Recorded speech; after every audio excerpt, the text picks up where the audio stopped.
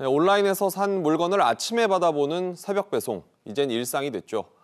그런데 이제는 오늘 산 물건을 오늘 바로 배달해주는 업체들도 늘고 있습니다.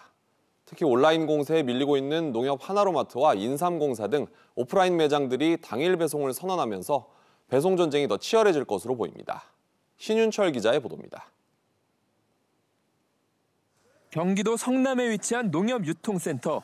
주문받은 배송용 제품이 물류 시스템을 따라 이동합니다. 이 유통센터는 주문을 받으면 최대 2시간 내 배송을 목표로 하고 있습니다. 지금은 매장 인근 3km 등으로 제한하고 있지만 유통센터를 늘려 당일 배송 지역도 차차 늘려갈 계획입니다.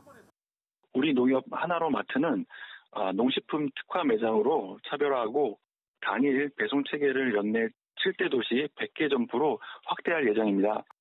명절 연휴 기간에 당일 배송에 나선 유통업체들도 적지 않았습니다.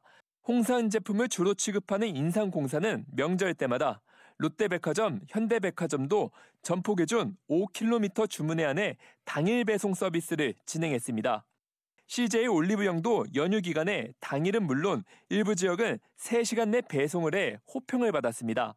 이들 업체들은 연휴 기간 명절뿐만 아니라 주말에도 당일 배송을 확대하는 것을 검토 중입니다. 근데 e-commerce의 이제 소매 유통량은 50%를 넘었거든요.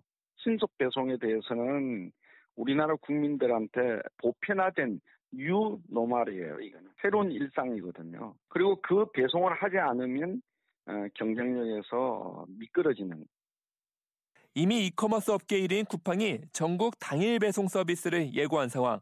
온라인 쇼핑몰이 시작한 배송 속도 경쟁에 오프라인 업체들까지 뛰어들며 당일 배송 경쟁을 더욱 격화할 것으로 보입니다. SBS 비즈 신윤철입니다.